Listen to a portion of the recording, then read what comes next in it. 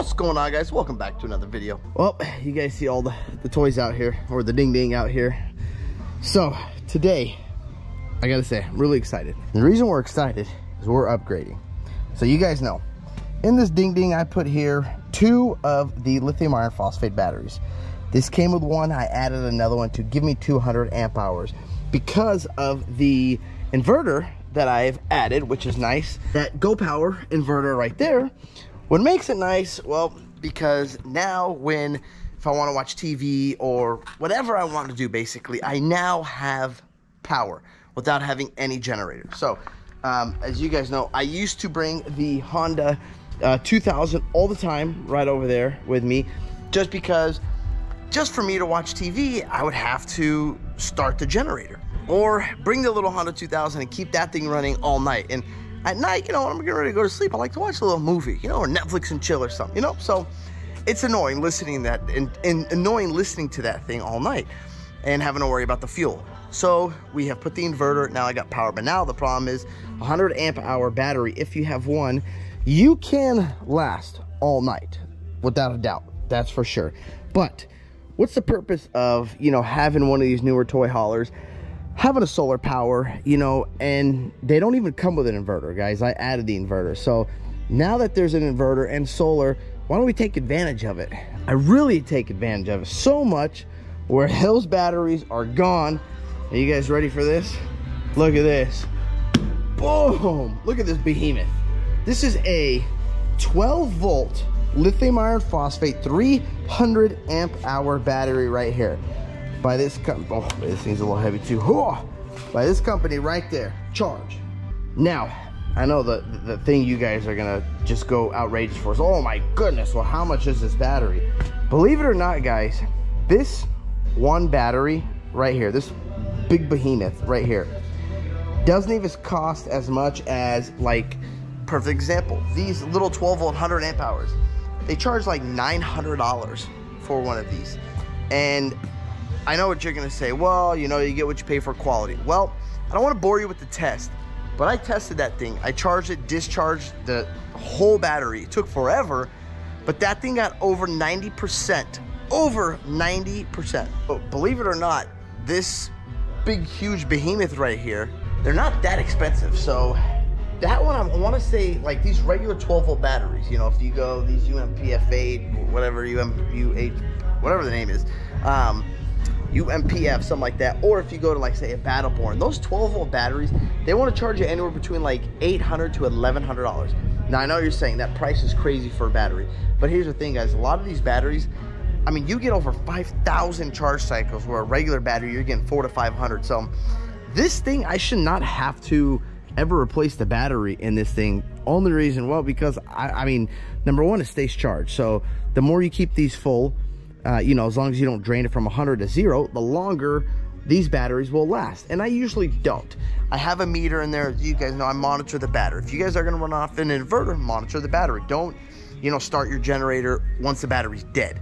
The issue that we're having here is there's just not, I mean, you just need such a massive amount of solar panel to replenish, you know, the batteries. So I have chosen to go with the battery bank. Now, the pricing.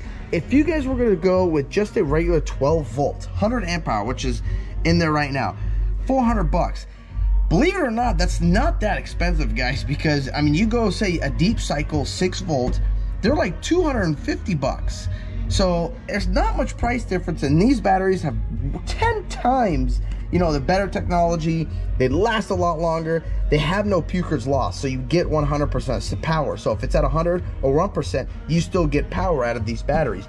Or you go with the 200 amp hour, which is that size right there for 699 or you go with the big behemoth that I went with was 1200 bucks. Now, as you guys know, I will put a link down in the description for you guys and if you do want to purchase one, there will be an Eddie's Life discount code on there. That link will also be in there. Put in Eddie's Life 10 and it will save you 10% off any one of those batteries you want to choose. So for the boondockers out there, I don't know why any of you guys would even have a, gel or a flooded battery. I mean, that's that's just gone. That technology is over with and these LiPo batteries are incredible. And there's, there's I know they're starting to become so popular and there's so many out there they have, I believe, my personal opinion, they finally perfected, you know, the battery world when it comes to these uh, lithium iron phosphate batteries, just because they, I mean, it's incredible. They got so much power and they last so long. Now, I'm also thinking about putting two of these bad boys in. But right now, what we're to do is we're to take this behemoth and we're going to get rid of all this in here. And we're going to pretty much what I, when I install that one, um, I'm going to have an extra 100 amp hour. So instead of the two, we'll have 300 now. And I'm once I get a, another one, I'm gonna have to like like cut this and make my own custom battery tray. Uh, I don't even they don't even I don't even know if there's a battery box, you know, for that big behemoth over there.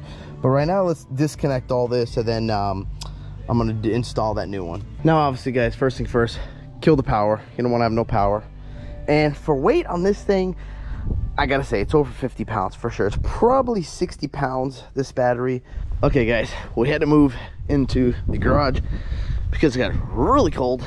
And, well, we, get, we just started getting some rain. It moved over there a little bit, but it's still coming. So, um, I threw everything in here so it doesn't get all wet. But what I have done here is I uh, installed it now, you can see there's not a lot of, and this, remember, this is just temporary, guys. We're going to fix all this wiring and redo it all, but right now what you can see is, well, there's not a lot of room. So, and like I said in the video, we're going to have to do, so we're going to have to cut that, and I'm going to flip these both that way once we do uh, two of them.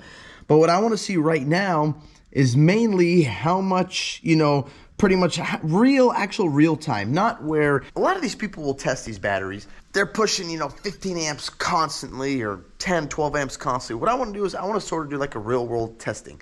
Head out to the desert, you know, leave the generator off and just try to run off the uh, inverter and see how long this actually, you know, this battery can last. And how what I've done and how I do it is I have this device right here that I hook to the battery and I pretty much turn it up and the battery sits. Well, this battery sat here on the workbench for days. It took so long to drain that battery. But, you know, my thing is like, people aren't gonna do that. You guys are gonna go home, you're not gonna buy that, you're not gonna do that. So that's why I put it in the toy hauler and I wanna really see how long it's going to last. These two that I had, they lasted a decent amount of time. What really started sucking the battery was at night. Obviously, there's no sun. Solar's not working, you know.